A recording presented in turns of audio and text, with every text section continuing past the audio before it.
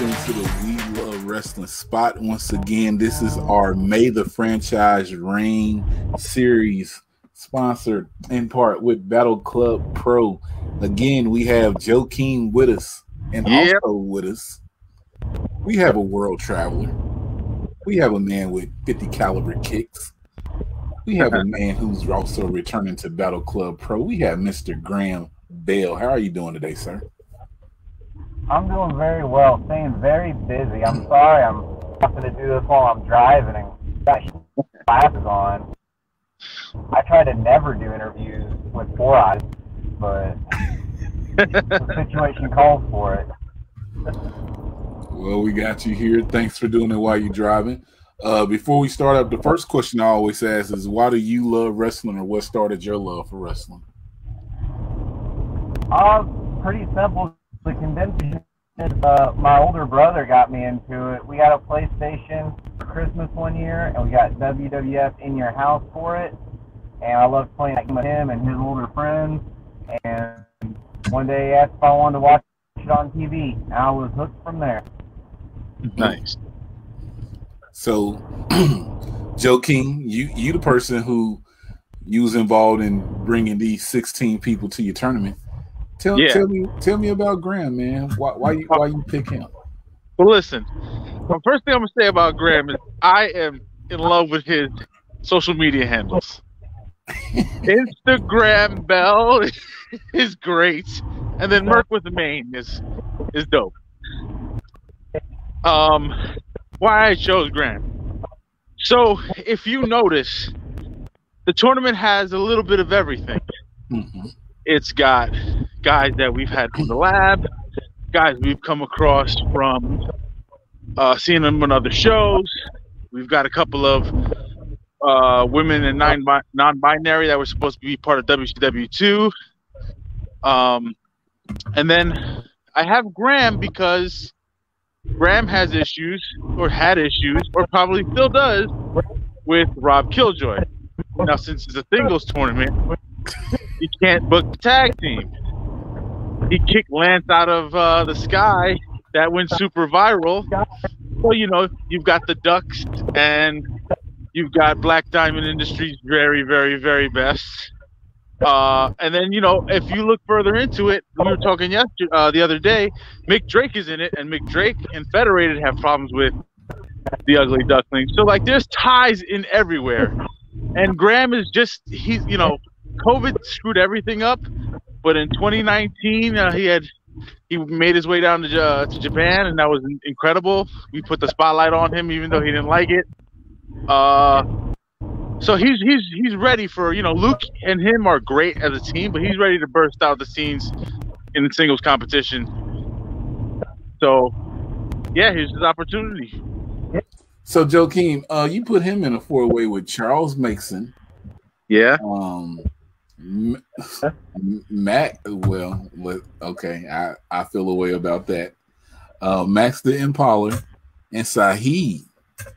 Yeah. Yeah, tell me that's not one of the most interesting matchups there is. That that's that's crazy. That is crazy, right? The, the, the biggest and most dominant force in that match is Max. Then you've got Charles, who is who's on a like serial killer kick billionaire playboy, kind of doing whatever it is he wants to do. And obviously Graham, Graham's a merc, you know, he's there to uh to end people. And then Saeed, Saeed is God, I love Saeed. We've we've been we've tried for the last few years to get Saeed on a Battle Club show, and it constantly doesn't pan out, whether it's injury or schedule. All right, I'm back. But yeah, that that matchup I matchup hope is y'all can edit around my unprofessionalism. You're good, Graham. Uh, we brought in uh, one of the a person, a part of the group that's sponsoring you for the show, uh, Danielle from the Pretty Heels. Oh, hey, good to meet you. Her, her mic is still muted, bruh. Nah, Oh, she should no, be I just, I'm, I Oh, there you go. I didn't hear you. Yeah, I'm out. There I'm out of town, so I apologize. But I wanted to make sure that I'm I'm here for all the heel shit. So I understand that adversity is against you, Um, but I, I'm here for, for everything. Everything, wh- whether winner wins. I'm, I'm going to keep bureaucratic. Oh, so is this who you got winning this match since y'all sponsoring him, Daniel?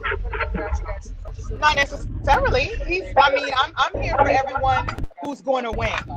I'm not gonna pick a winner right now. I'm gonna I'm gonna make people tune in and show up on May 29th. I'm not gonna let them know who we're siding with right now.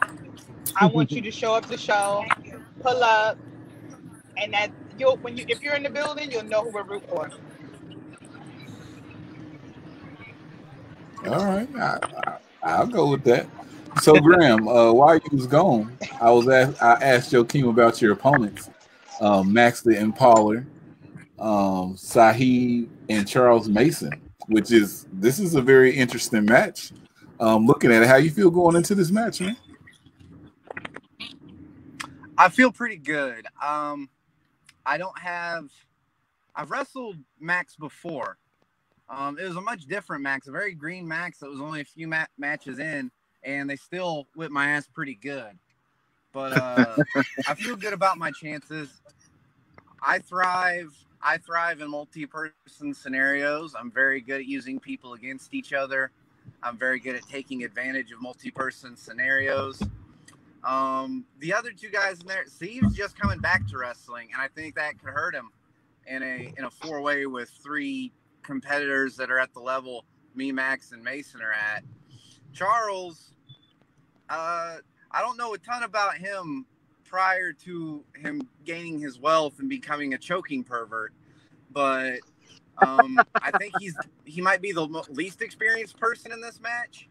But uh, his uh, his vices and his personal motivations could very possibly get in the way of uh, good decision making that could lead to his victory. I'd say Max is definitely the uh, the big threat in this.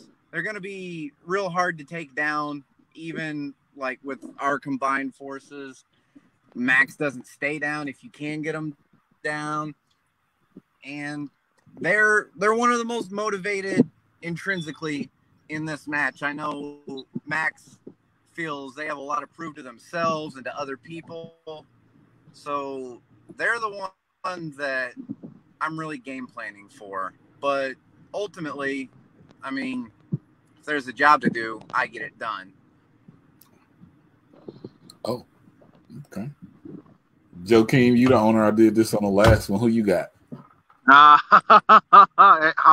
it's it's hard it's hard to pick against Max. It's so hard to pick against Max. Like hmm. Max can no offense to anybody in the match, Max can break anybody against that that's across from her that night. You know? Um, I I'm a little biased, you know. Charles, I- I Charles, Charles Mason is a monster, though. Like let's let's Charles, not. yo, Charles He's- Mason's so- really so been again, this- butt again, in a and then- full and then let me- outfit. Right. Let me let me correct myself because I said her, they. Um, anyone in their way, Max can murder. But I'll tell you what, man, Charles, his game is on a different level. Like I, I witnessed him stay with Lee Moriarty, who's like everyone's starting to tout as the best independent wrestler in America.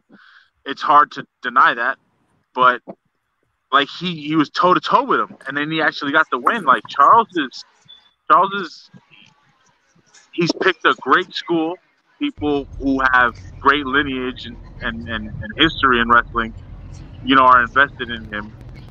Uh, But let's, but yo, Joakim, not to cut you off, let's also talk about Saeed's unpredictableness. He's a hot fire. I mean, he's Yeah, no, Saeed's great, but- not a cruiserweight.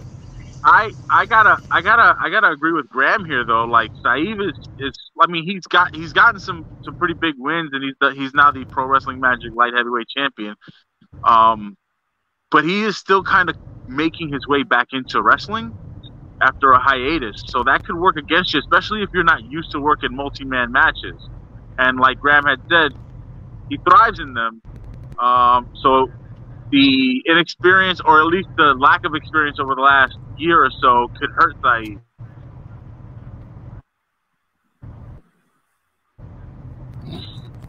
What you think? What you think? So I'm I'm I'm I'm I'm gonna go uh, lean towards Max because I'm in cahoots with uh, THWF and that's their sponsor athlete. um, I'm I'm leaning towards Graham also since the Pretty Heels are sponsoring him and I'm in cahoots. Uh, Saheed and um, Charles. Well, shout out to Charles. I heard you from Indiana. We'll find out. Um, but yeah, that's where I'm going with it. Um, Graham, let me ask you this. I I came. I definitely think this is this is one of the most one of the important matches though.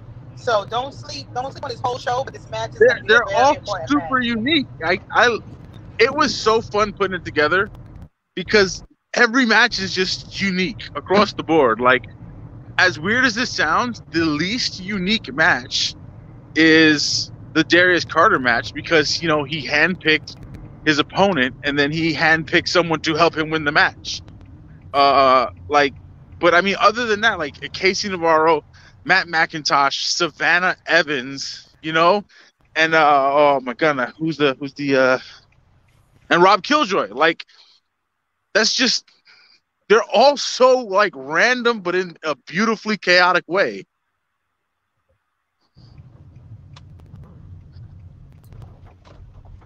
Graham, uh, with all these people, uh, 15 other people in the tournament, is there anyone that you've seen in the tournament that you might have to be worried about? I know you said Max in this match. So let's say if you get past this first round matchup and you get in and, and you're going, is there anybody that you're looking out for in the tournament?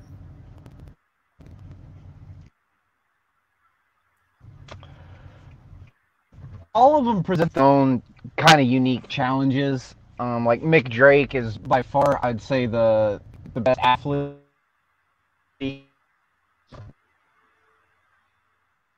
Tournament as Evans is just a killer.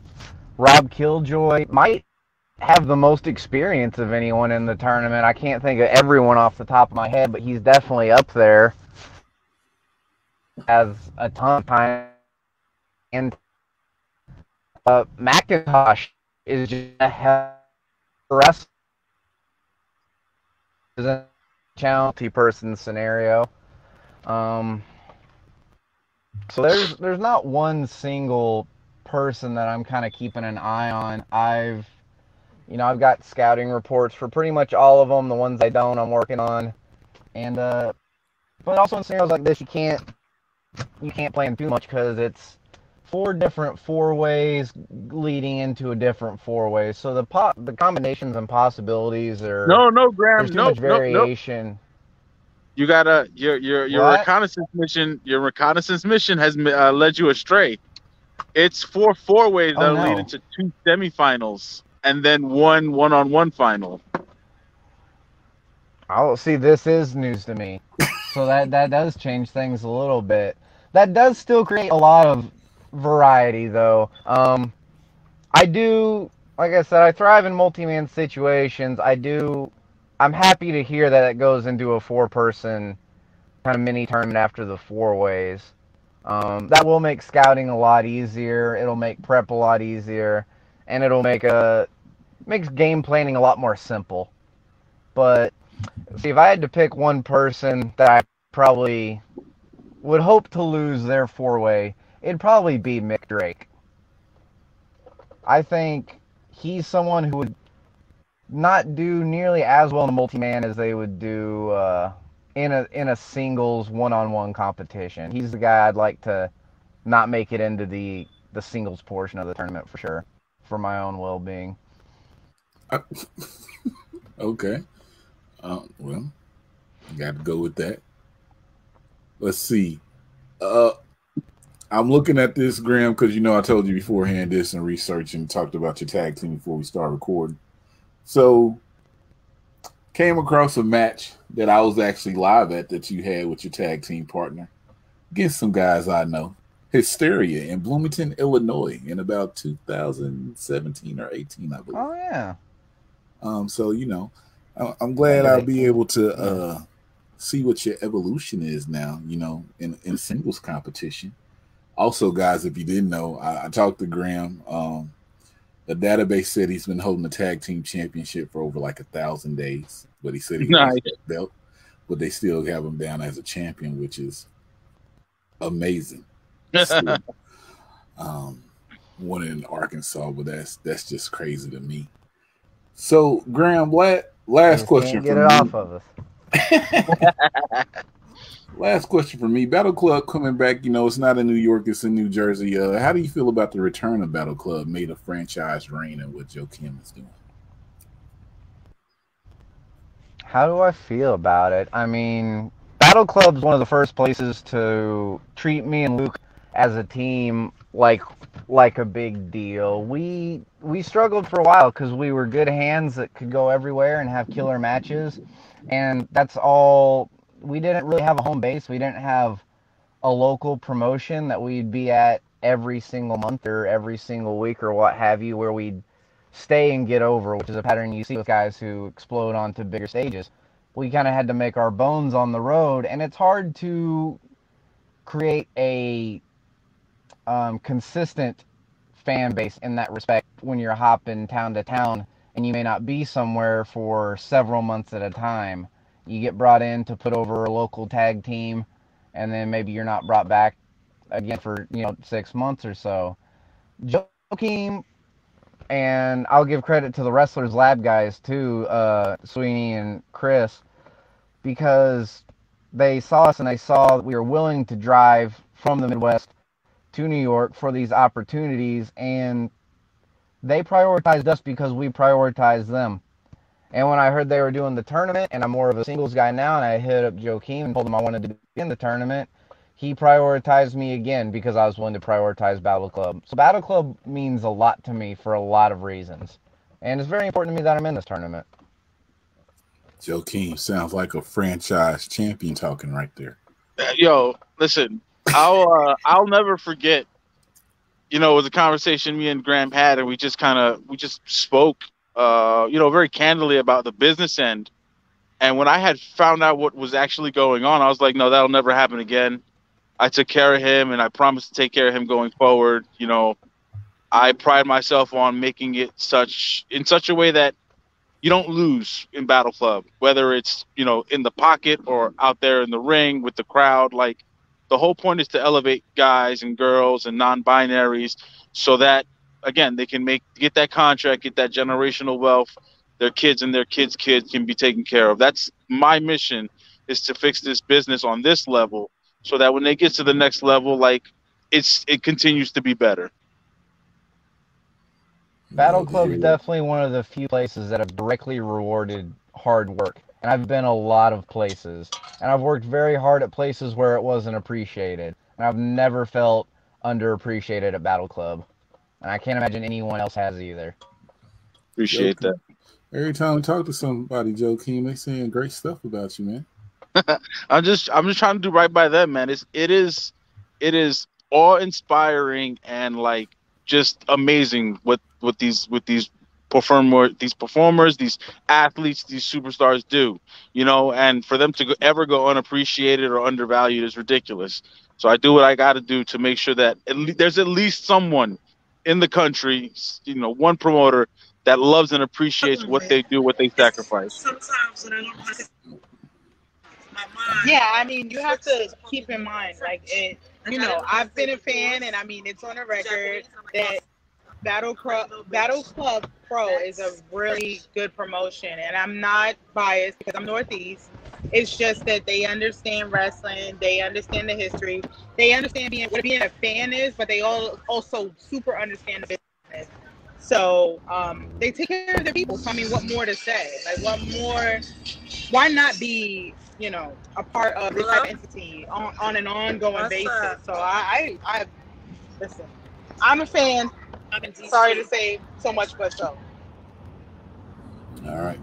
So, Graham, the last thing that we do here, um, you're not probably familiar with our platform. We the mom and pop shop.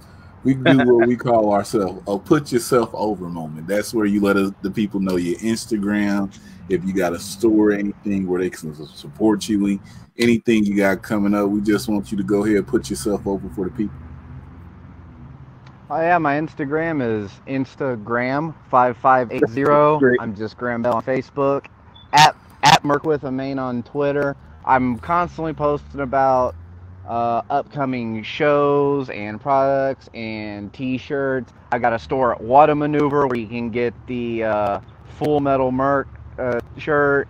And see, t- next thing I have coming up is I have Crux Wrestling tomorrow in Tullahoma, Tennessee, All Star Pro in Oklahoma City on Sunday, and then a whole bunch of stuff coming up after that. The calendar's filling up again pretty quick.